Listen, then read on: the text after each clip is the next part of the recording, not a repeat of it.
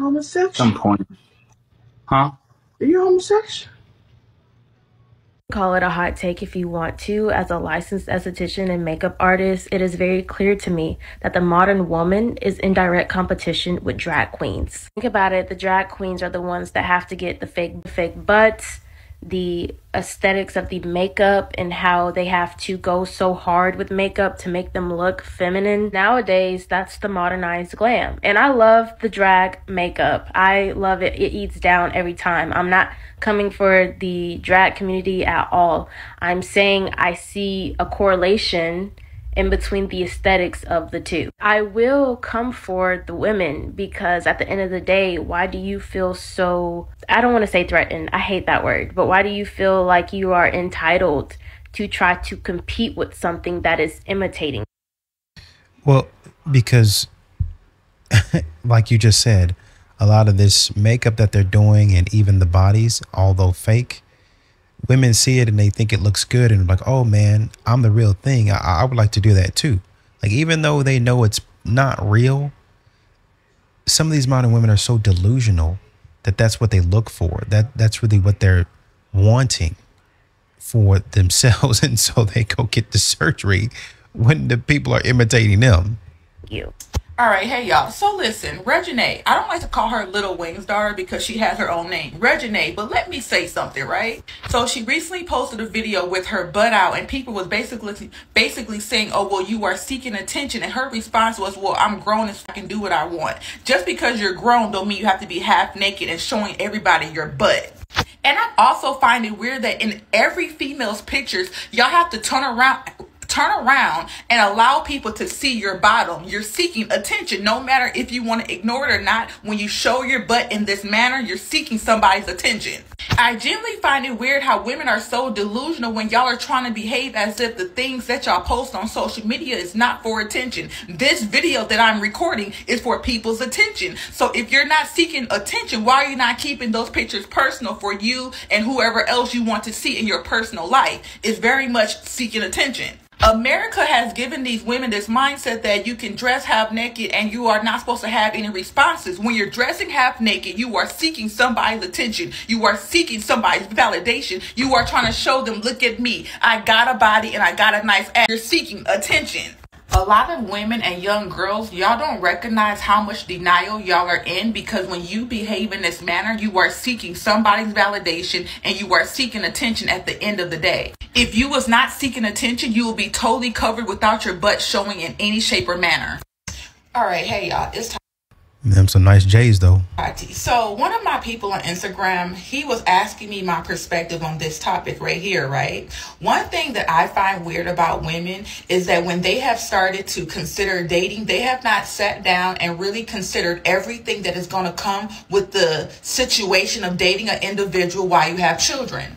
And one of the things that I find weird is that women want to date men and y'all want them to take care of your children, but you are not going to allow them to discipline those said children that they are taken care of. I generally find it weird how you are dating a man that you cannot trust to discipline your child, but you can trust him to penetrate you every day and every night and live in that same household with that child while you're asking him to provide for a child that is not his if you have allowed a man to come into your life and he's penetrating you, he's providing financially, emotionally, spiritually, he's around the children consistently, why is it not his place to be able to discipline those children when they are being disrespectful as towards him or towards you or towards the household that he is now the man of?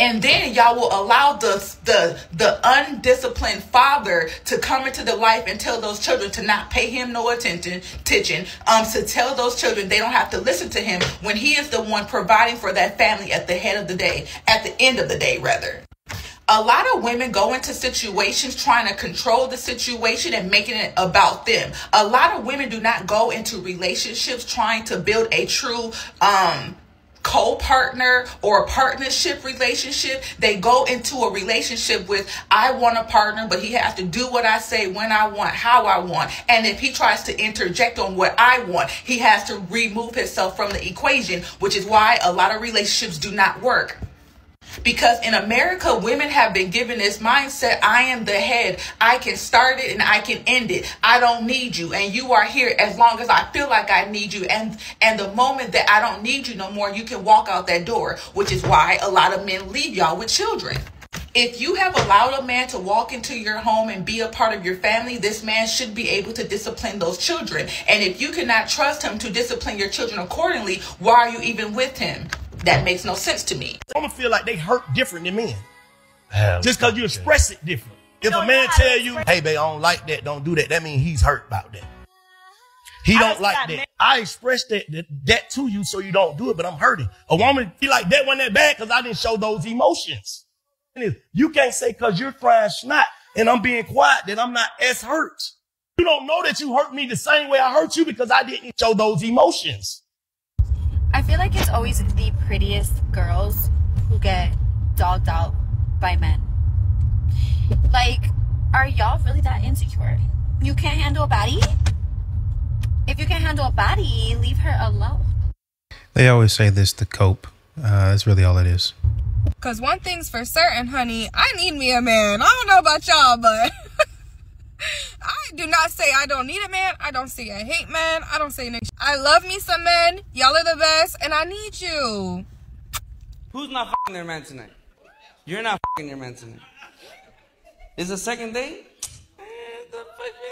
Stand up straight. That's why she's not fucking you. Stand there like a child. Stand up straight, bro. You never had the first date? You're lying ass her, her earring fell out when she said that. Even God knows you're lying. So why not him? You like him. You want oh the other ones you didn't like. I don't like you. But you like him, huh? You like him. Okay, I have a question for all the me. single guys. So if you're not a single guy, keep scrolling. Okay, so um, do y'all decorate for Christmas? Like even at all? Do you like get a Christmas tree like at your bachelor pad? I only asked because I was dating this guy like a couple years ago and he told me he didn't decorate for Christmas and I was like, that's a red flag, right? Like, but maybe it's not. Maybe, maybe guys just don't decorate for Christmas at all. But do you even have like, you know, like anything? Stockings? Do you have anything? I need to know because like I need to know if that's an actual red flag because that turned out really bad. Like that dude totally fooled me and I'm a really good read on people. Ooh, it's really bad. But like, do y'all decorate for Christmas? I just need to know if that's a red flag or if like most guys just don't. They do, uh, I mean, why would you? Like, it's not a necessity. You can, but you don't really need to. If the guy has family, he's probably going over his family in his friend's house. It's not really. He's single. What? What is going to be decorating his house for? Just to take it down for no reason? There's nobody coming over his house except his friends, and his boys are not going to want to see that. They're not going to care. That's weird. To call that a red flag, my my my. At your age, you should know better. If I shared my man on the internet and you guys got under my comment section calling him ugly, saying I could do better, I would get on the internet and gaslight each and every one of you because you're not about to ruin my relationship because you think he's ugly. You're not about to have my man thinking he's ugly in this relationship. No, no, no, no, no, no, no. Those are conversations we keep in the house, in the group chat. He's gonna think he's ugly. Do you know what an ugly man will do to a beautiful woman? Do you know? Do you know how dangerous of a situation that is? Anyway, okay? I don't give a shit if you think he's ugly. I don't care if he is ugly. Shh. Is beautiful in the room with us? I'm just joking. God. Y'all know my life been in shambles. I get in the news immediately. I just lost the best I ever had, finest. I mean, I even apologize. That didn't work. That's crazy. Oh, oh my God. But I wasn't gonna tell the story at first, but I've confirmed he in fact does not have no social media, so we're good to go. So last night, I'm coming from the. I went to left work, went to Target because I needed to get uh, groceries for the next few days and get dog food. So I go to Target, I get my things. I got more things I was supposed to get. I spent 120 dollars in Target, and I went to go get cheese sticks, protein chips, and dog food. I don't know what the fuck. But anyway, I mosey to my car. I'm putting my groceries in, you know, do, mind my business. Now, I know that some people, I think everything I do is just like girly and dainty. Every time I like do, I just, this is really how I am. I, I just know I was so keeping my groceries in the car. Oh my God. Anyway, so I put my groceries in the car and I'm going around the back of the car to get in. And as I'm going, like I'm parked, I'm at the Midtown Target. So there's like the wall back there. So I'm parked against the wall. I backed in. And so it's a car pulling up, like going out and they like block me in. They stop. And I'm like, well, what the fuck on? Because you see me about to get in this car. Like I know you see me about to get in this car. So someone gets out the car and I'm like, what the f is going on? So this man gets out the car and he's like, uh, excuse me, do you have a second? And I'm like, I I am scared, but it's not that late for me to be scared, scared. And it's like busy in the parking lot. So I'm not I'm communicating I'm making it clear that he's you're scaring me. And so I'm like, yeah, like what's up? And he's like, Oh, I just thought you were so beautiful. yeah, I knew it. So I just thought you were so beautiful. I just had to stop. Like, can I, like, my, this is my name. Like, what's your name? I had, I broke my neck trying to look at you. I had, I couldn't leave here without seeing, saying hello to you. mm. So I gave him my number. And he was fine. He was fine. Um, I was panicked because he didn't text me, so I thought I put my number in his phone wrong, but he ended up texting me today. FaceTime, still fine. And y'all, would you believe that we live, our buildings are next door to each other? It is the holiday season. I am in a holiday rom com. like buses, you know. You miss one, next 15 one coming. I, I don't think that's how it works. Um, with her luck, and I've seen a few of her videos, it's trash. She's going to end up like she is, single, telling us these stories about how she's fumbling actual good dudes. But if that's how she likes her life, it is what it is. Um, I want to go back to the lady that was absolutely cooking Lil Wayne's daughter, Reginae Carter. Because um, I, I think she made a very good point, and I think it had something to do with women, some women, modern women, feeling like they are the head of the household in relationships like, oh, I'm going to do this. It's going to be all on me. It, it's going to start with me, and it's going it's going to start with me, and it's going to stop with me. I think that's what she said. I like the way she put it, and I thought that was perfect. Because that's exactly what modern women do. That's exactly what strong, independent women do. Until they get tired, until it's too much, until they have a mental breakdown, until they're just on their last leg, and then a man is supposed to be able to read them and come in and swoop and you're supposed to know when i'm tired you're supposed to support me and i got to leave you now because you don't really care about me. And really if you think about it that it's a bunch of nonsense because that, that's terrible communication if you think about it.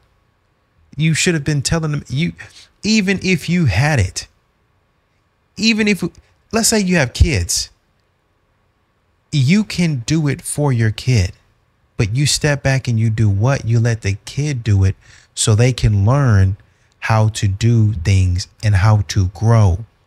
It's the same thing in a relationship. Even though you could do it, you step back and let your partner do it and you let them figure out a way to do it and say, oh, do it like, uh, uh, uh. because that's what y'all do. And that's how y'all end y'all's relationship over the top on a man's back and then wonder why a man don't want to help you. Y'all need to get it together. Wearing anything, doing anything, and then when you get called out for it, you get mad. No accountability. And you wonder why you get out here and you fumble men, good men, because you can't figure out how to get out of your own way.